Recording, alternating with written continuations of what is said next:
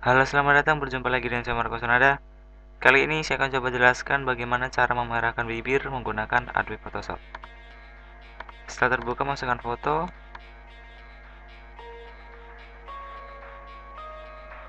Saya akan crop dahulu Agar foto menjadi close up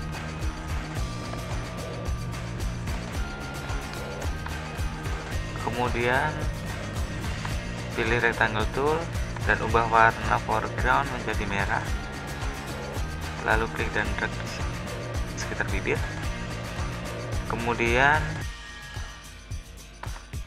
klik kanan dan pilih rasterize vector mask.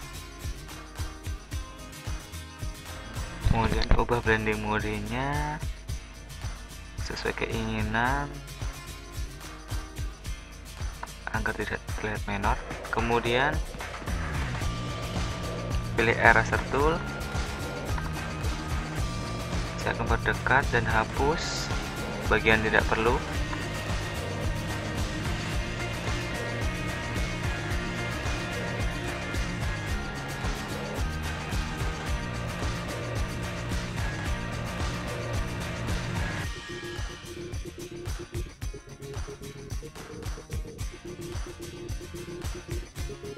kemudian kurangi fill hingga menemukan warna yang pas.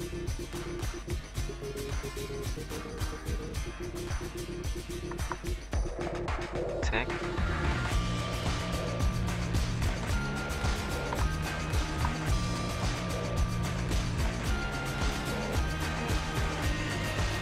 Dan seperti ini.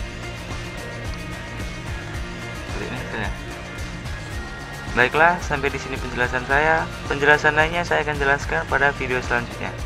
Semoga bermanfaat dan terima kasih.